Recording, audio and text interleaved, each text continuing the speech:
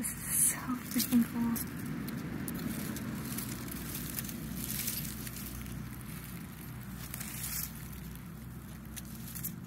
What is?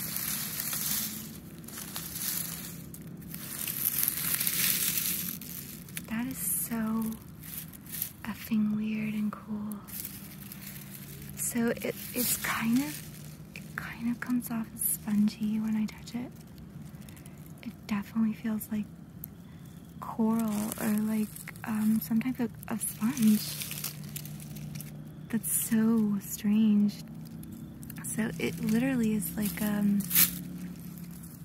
it's a sponge that's growing on the earth instead of like actually in a ocean there's sponge on the earth that's so interesting and you know it's just bacteria which is odd but it is really cool that like sponge is like literally growing on the earth. That is so odd. But so cool. Right